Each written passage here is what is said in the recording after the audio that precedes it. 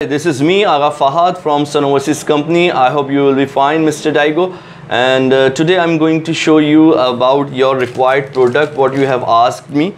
And uh, let me show you first of all, uh, this is Himalayan pink salt barbecue plate, uh, which is without is, is iron stand, which is without metal stand. And you can see the height and width of it. Uh, the total length is 12 inches the height is 8 inches and the thickness of this is 2 inches.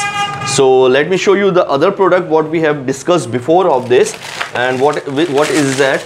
Uh, this is with metal barbecue tray and uh, this is metal tray with it and uh, the length of this is uh, definitely same uh, 12 inches and the height of it is 8 inches and the width of it this is 2 inches approximately approximately the weight of this is 8 to 9 uh, kg.